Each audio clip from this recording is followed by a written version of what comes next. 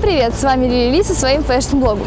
Сегодня у меня необычный блог в жанре репортажа, ну или журналистского эксперимента. Я никогда не верила в возможность крупного выигрыша во всевозможных акциях, которые проводят магазины и известные бренды. Хотя выиграть всегда хотелось. Ведь есть же, наверное, такие везунчики.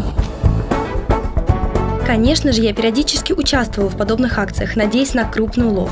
Но получалось выигрывать только небольшие призы. А тут вдруг я убедилась, что выиграть возможно. Я приняла участие в акции магазина «Подружка» на Ленинской Слободе, куда часто забегаю после универа. Это была моментальная лотерея на кассе. Я купила что-то по мелочи, мне выдали скретч-карту, я стерла защитную полоску, и вау, там было написано «бриллиантовая подвеска». И вот я поехала в офис сети магазинов «Подружка» за подарком. Сначала мне потребовалось заполнить специальные документы, свидетельствующие о том, что это именно я пришла и получила свой приз – подвеску из белого золота с бриллиантами. Затем милая девушка, менеджер, вручила мне этот ценный выигрыш и поздравила меня с такой удачей.